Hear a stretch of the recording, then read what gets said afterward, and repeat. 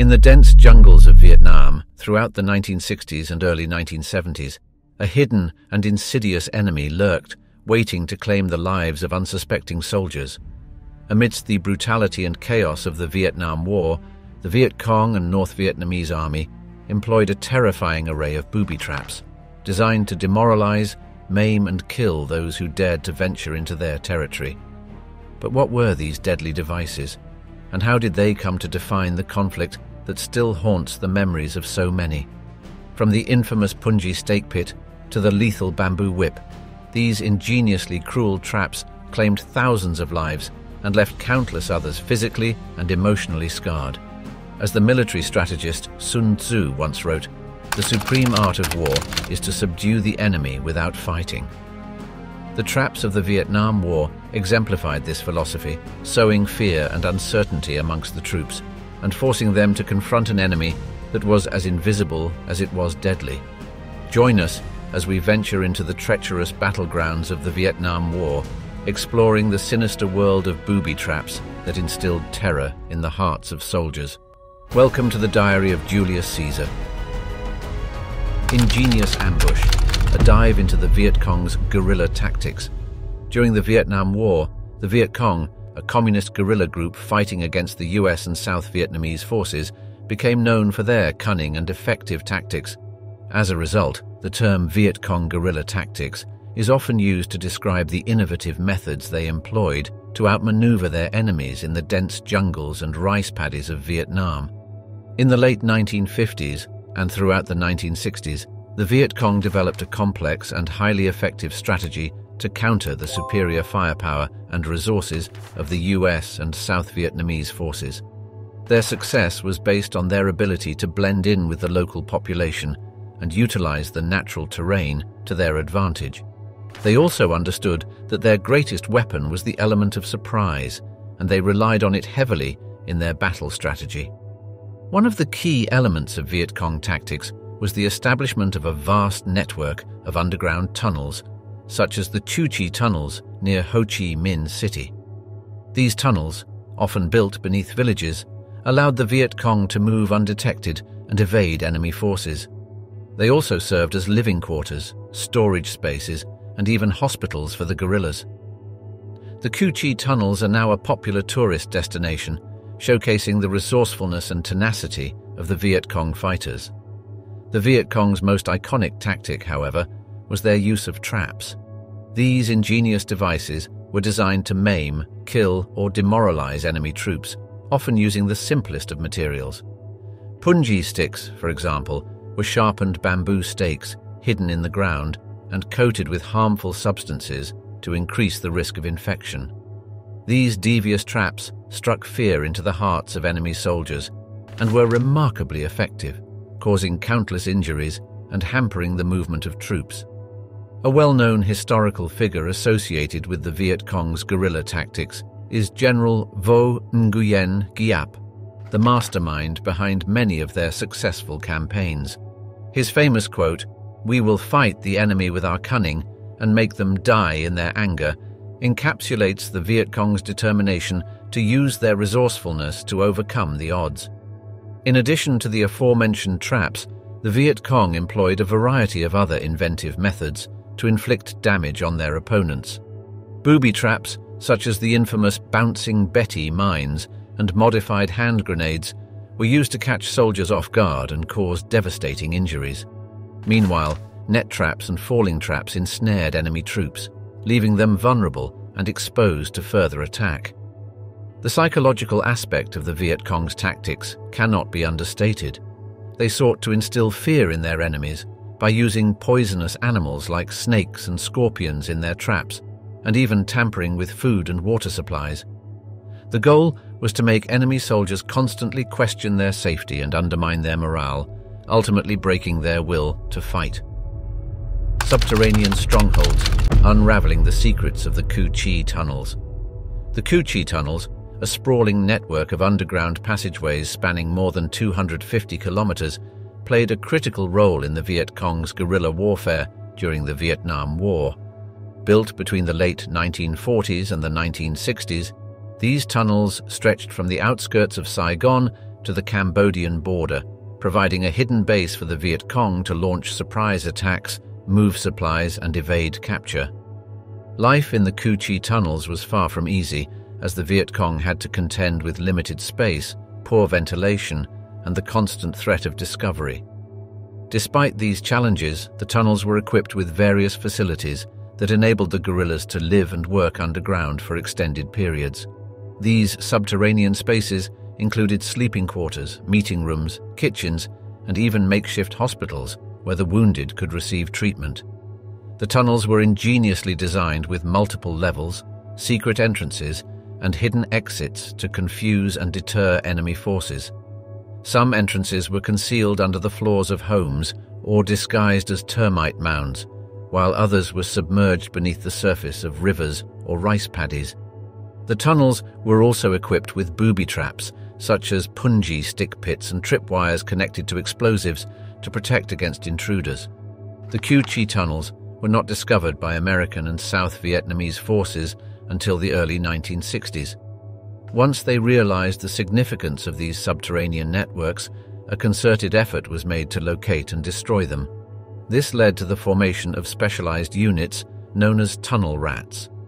Small, agile soldiers who volunteered to crawl into the narrow, dark passageways to search for enemy combatants and dismantle booby traps. One famous tunnel rat, Sergeant Samuel Orozco, recalled his experience in the Cu Chi tunnels, stating, You never knew what was waiting for you around the next bend a tripwire, a snake, or maybe even a Viet Cong soldier. The tunnel rats' work was harrowing and dangerous, but their bravery and determination helped to counter the Viet Cong's subterranean advantage.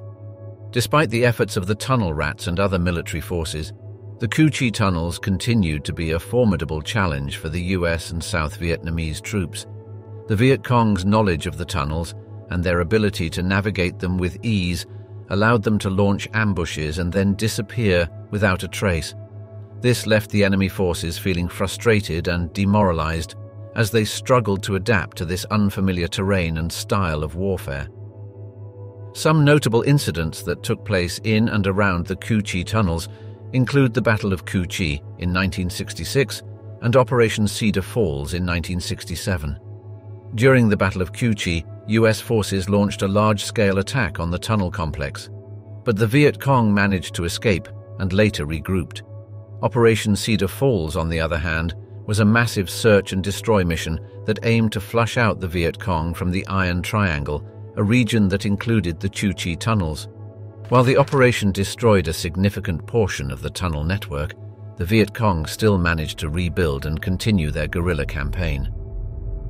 Bamboo's darker side, punji stick trap in the Vietnam War. The use of punji sticks by the Viet Cong during the Vietnam War is a prime example of how simple, locally sourced materials could be transformed into deadly weapons. These traps, consisting of sharpened bamboo stakes hidden in the ground, were designed to cause severe injuries and spread fear among the enemy troops, demonstrating the resourcefulness and cunning of the Viet Cong fighters. Punji stick traps were typically deployed in areas where US and South Vietnamese forces were likely to travel or seek cover, such as along jungle trails or near riverbanks. They could also be found around the entrances of the Cu Chi tunnels to deter and injure those who attempted to infiltrate the underground network. In order to maximize the damage inflicted by punji sticks, the Viet Cong often coated the tips with harmful substances, such as venom from poisonous plants or human and animal excrement. This added a further layer of danger, as even minor puncture wounds could lead to serious infections and complications. The use of punji sticks dates back to the First Indochina War, when Vietnamese guerrillas employed similar tactics against French colonial forces. However, it was during the Vietnam War that these traps became infamous, as the Viet Cong refined their design and deployment to maximize their impact on the enemy. One famous account of a punji stick encounter comes from US Marine Private First Class Frank Harbert, who had the misfortune of stepping on a punji stick trap while on patrol in 1968. He recalled, I felt a sharp pain in my foot, and before I knew it, I was on the ground, screaming in agony. Harbert's injury, while not life-threatening, took him out of the fight and required weeks of recovery. The psychological impact of punji stick traps on enemy forces cannot be understated. The constant threat of stumbling upon these hidden hazards made soldiers anxious and less focused on their surroundings. As a result, their morale suffered and they became more susceptible to making mistakes. US and South Vietnamese forces took several measures to counter the threat of punji sticks. They developed specialized footwear with reinforced soles to protect against puncture wounds, and they often sent scouts ahead of the main force to probe the ground for hidden traps. In addition, they learned to identify and avoid areas where punji sticks were likely to be deployed, such as dense undergrowth and seemingly innocuous clearings. However, the Viet Cong continued to adapt their tactics in response to these countermeasures. They began to build more sophisticated punji stick traps, with some designs featuring hinged or spring-loaded mechanisms that could snap closed on a soldier's limb, causing even more devastating injuries. The unseen danger, booby traps and landmines in the Vietnam War. The Viet Cong's use of booby traps and landmines during the Vietnam War demonstrated their mastery of psychological warfare as they preyed on the fears and vulnerabilities of US and South Vietnamese forces. These deadly devices, ranging from modified hand grenades to sophisticated mines like the infamous Bouncing Betty, served not only to cause physical harm but also to demoralize enemy troops and disrupt their operations. The Bouncing Betty, officially known as the S-Mine, was a particularly fearsome weapon that originated in Germany during World War II. When triggered, this mine would propel itself into the air before detonating, causing devastating injuries to those nearby. The Viet Cong obtained these mines from various sources, including captured enemy stockpiles and clandestine shipments from sympathetic nations. In addition to the Bouncing Betty, the Viet Cong employed a wide range of other booby traps and landmines, often improvised from available materials. These included toe poppers, small mines designed to maim rather than kill, and tripwire mines, which would explode when a soldier unwittingly disturbed a concealed wire. Some traps were even designed to resemble everyday items, such as rocks or foliage, making them virtually indistinguishable from the surrounding environment. One notorious example of a booby trap employed by the Viet Cong was the grenade in a can. This simple yet deadly device consisted of a hand grenade placed inside an empty tin can with the pin held in place by a rubber band. When a soldier stepped on the can or disturbed it in any way, the rubber band would release, pulling the pin and causing the grenade to explode.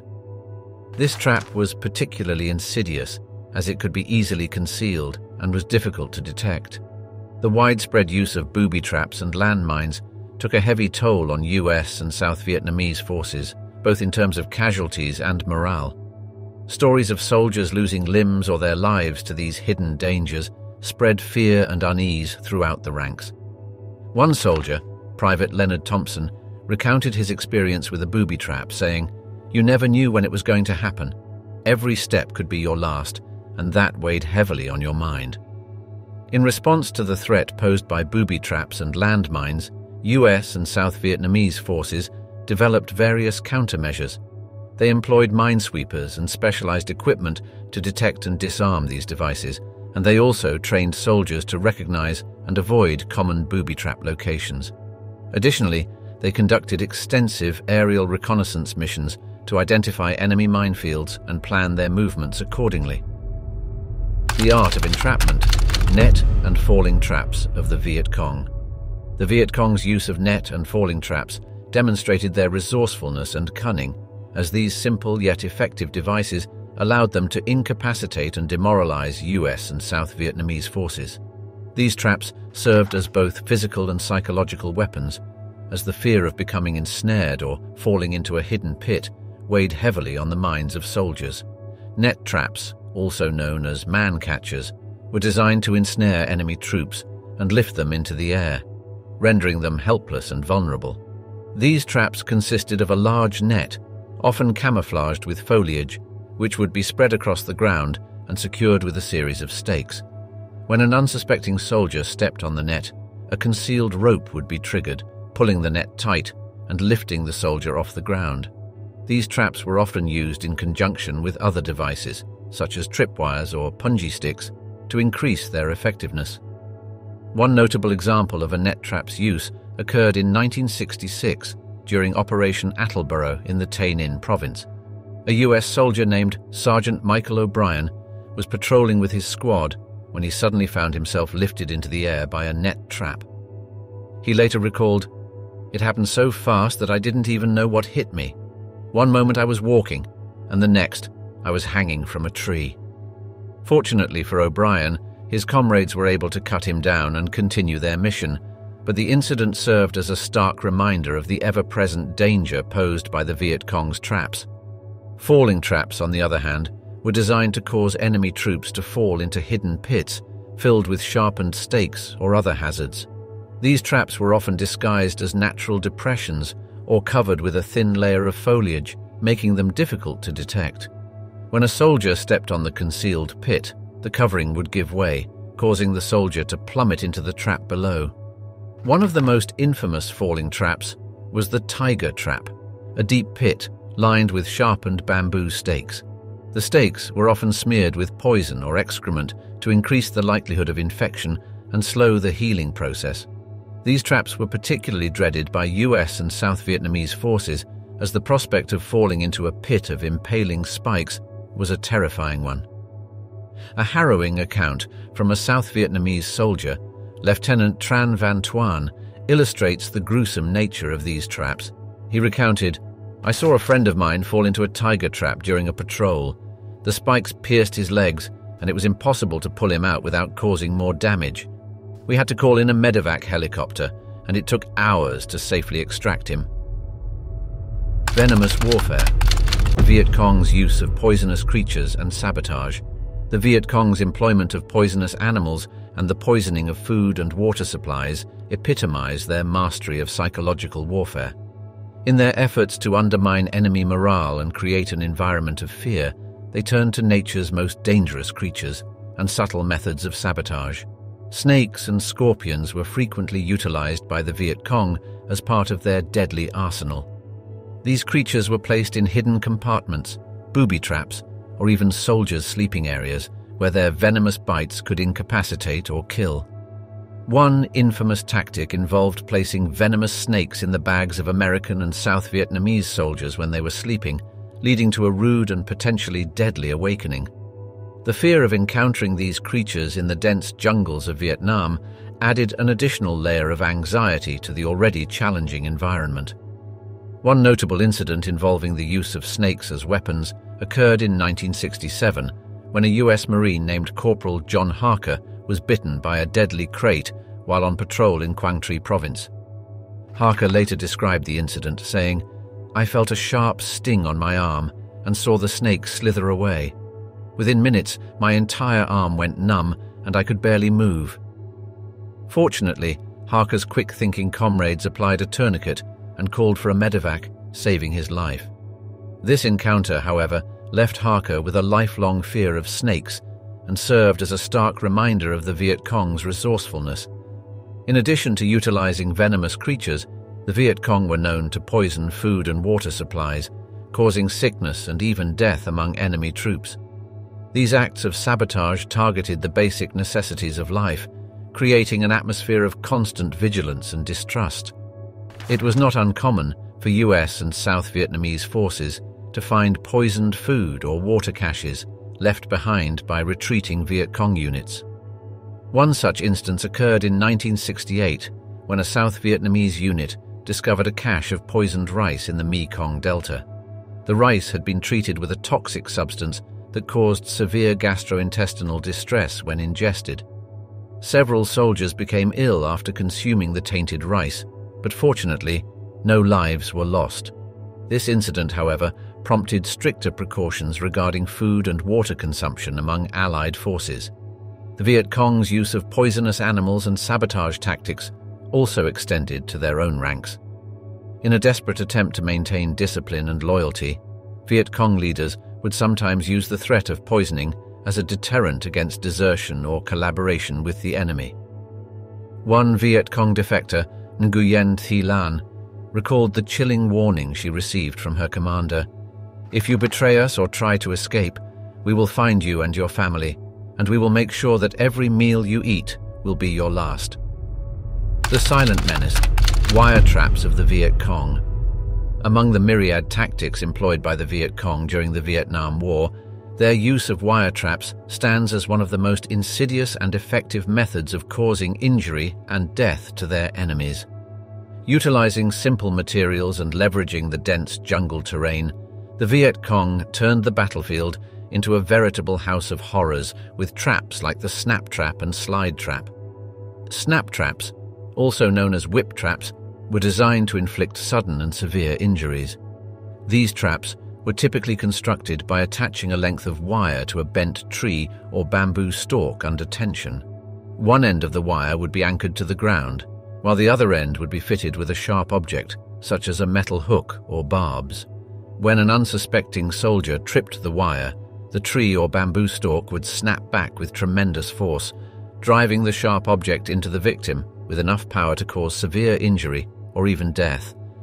One harrowing account from a US Army soldier named Private James O'Neill details his encounter with a snap trap in 1966.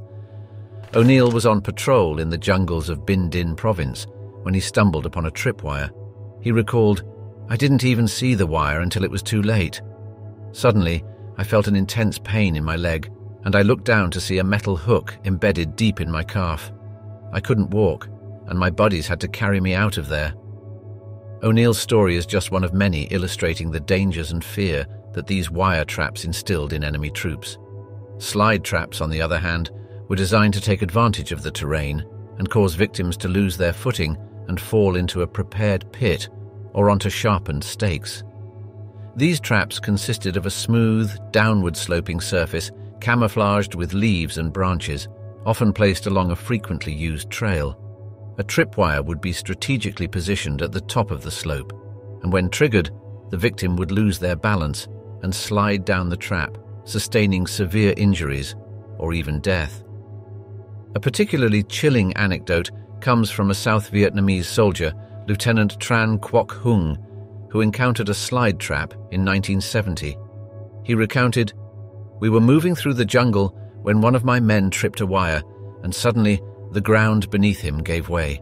He slid down into a pit filled with sharpened bamboo stakes, and there was nothing we could do to save him. The memory of that day haunted Tran for the rest of his life, serving as a grim reminder of the cunning and lethal nature of the Viet Cong's wire traps. Defying the hidden dangers, disabling Viet Cong traps. As the US and South Vietnamese forces grappled with the ever-present threat of the Viet Cong's deadly traps, they soon realized the necessity of developing countermeasures to protect their troops and mitigate the physical and psychological impact of these hidden dangers. Through innovation and adaptation, they devised various methods and tools to disable and prevent Viet Cong traps, turning the tide of the conflict and saving countless lives.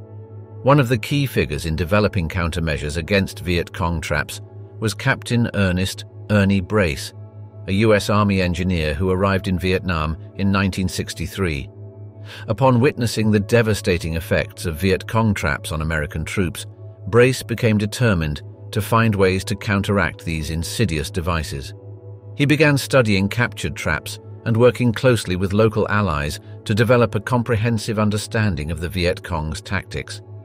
With the knowledge gained from his research, Brace and his team formulated a series of guidelines and techniques for detecting and disarming Viet Cong traps. They trained soldiers to recognize signs of tampered vegetation and disturbed soil, to spot tripwires, and to approach suspicious areas with caution. These guidelines also emphasized the importance of communication between soldiers to share information about potential traps and ensure that everyone was vigilant and informed. In addition to training soldiers in trap detection, the US and South Vietnamese forces also developed specialized tools to disarm and neutralize Viet Cong traps. One such innovation was the trap probe, a long metal rod with a curved tip that soldiers used to probe the ground ahead of them for hidden traps. By gently pushing the probe into the soil, they could detect the presence of a trap without setting it off, allowing them to safely disarm or bypass the device. Canine units also played a vital role in detecting and disarming traps. These highly trained dogs, often German Shepherds or Labrador Retrievers, were able to detect the scent of human presence and disturbed earth, alerting their handlers to potential traps. These canine heroes not only saved countless human lives, but also provided invaluable companionship and emotional support to their handlers and fellow soldiers. Efforts to counteract Viet Cong traps extended beyond the battlefield as well. Back in the United States, engineers and researchers worked tirelessly to develop new technologies and protective gear to shield troops from the devastating effects of traps. Innovations such as lightweight body armor, puncture-resistant boots, and specialized helmets were all products of this relentless pursuit of better protection for those on the front lines. Ingenious subterfuge, a historical tapestry of deception in warfare. Throughout history, deception has played a significant role in military strategy, shaping the outcomes of countless conflicts.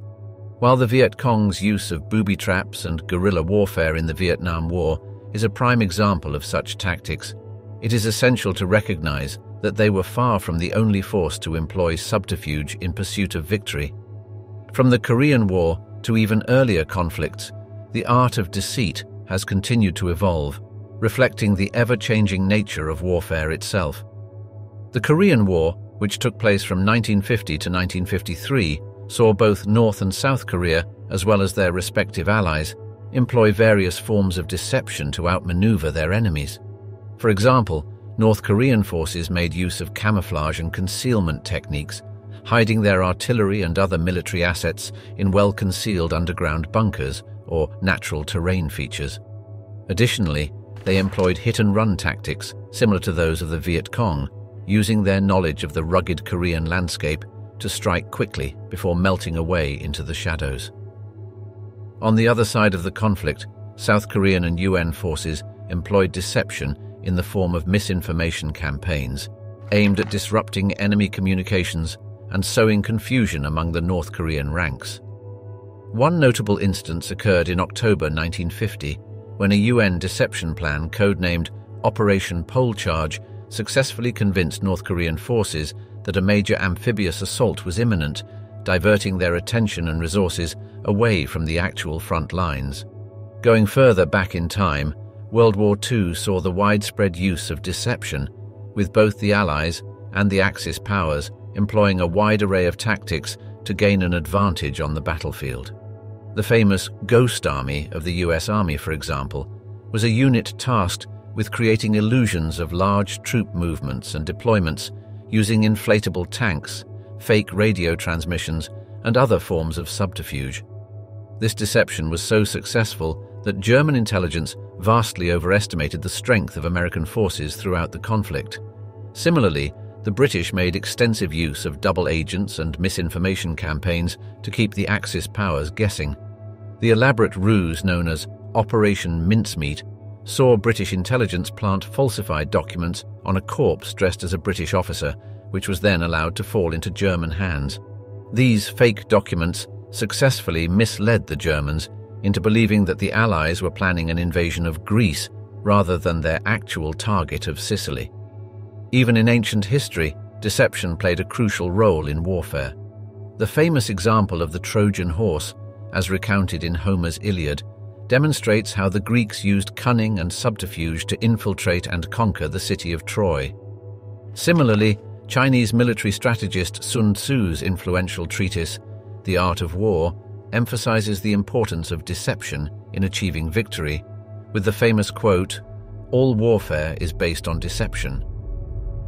Echoes of War The enduring impact of Viet Cong traps on soldiers and the land. The Viet Cong's extensive use of booby traps during the Vietnam War had profound consequences on both the soldiers who faced them and the landscape of the region, leaving a legacy that lingers long after the conflict's end. These traps, often crude but terrifyingly effective, not only inflicted severe physical harm on US and South Vietnamese forces, but also played a significant role in undermining their morale and shaping their tactical approach. As US and South Vietnamese forces ventured into the dense jungles and treacherous terrain of Vietnam, they quickly learned that the hidden traps laid by the Viet Cong were a constant threat. The uncertainty of whether the next step could result in a gruesome injury or even death took a heavy psychological toll on the soldiers. This ever-present fear led to increased stress and anxiety, eroding the fighting spirit of the troops and contributing to the overall disillusionment with the war effort. Additionally, the traps forced US and South Vietnamese forces to adapt their tactics in response to the unconventional nature of the conflict. Traditional military formations and strategies proved less effective in the face of such elusive and deadly threats. Consequently, US and South Vietnamese forces had to rely more on small unit tactics, patrols, and reconnaissance missions, often entering hostile territory with limited support. This shift in approach further exposed the soldiers to the dangers of the Viet Cong's traps, creating a vicious cycle of fear and adaptation. Yet the impact of these traps was not limited to the soldiers who faced them during the war. The landscape of Vietnam, Cambodia, and Laos still bears the scars of these brutal devices, with countless unexploded ordnances and traps remaining hidden in the region's forests and fields. These remnants of war continue to pose a significant threat to local populations who must navigate this deadly legacy on a daily basis. One particularly poignant example of the lasting impact of these traps is the story of Aki Ra, a former child soldier in the Khmer Rouge. After the war, Ra dedicated his life to removing landmines and unexploded ordnances from Cambodia's countryside, eventually establishing the Cambodia Landmine Museum and Relief Center. His tireless efforts have not only saved countless lives, but also raised awareness of the long-lasting effects of these devices on the region and its people. In their own words, voices from the Vietnam War's hidden dangers the Vietnam War was a conflict fraught with danger and uncertainty, and the Viet Cong's extensive use of booby traps only served to heighten the sense of dread experienced by those who fought in it. By sharing the personal stories and testimonials of veterans who encountered these hidden threats firsthand, we can gain a deeper understanding of the profound impact these tactics had on the lives of those who served. One such story comes from John Thompson, a U.S. Army veteran who served in Vietnam from 1968 to 1969. He recalls the day his platoon was sent to investigate a possible Viet Cong supply cache. As they moved through the jungle, one of his fellow soldiers unwittingly triggered a tripwire, setting off a hidden explosive.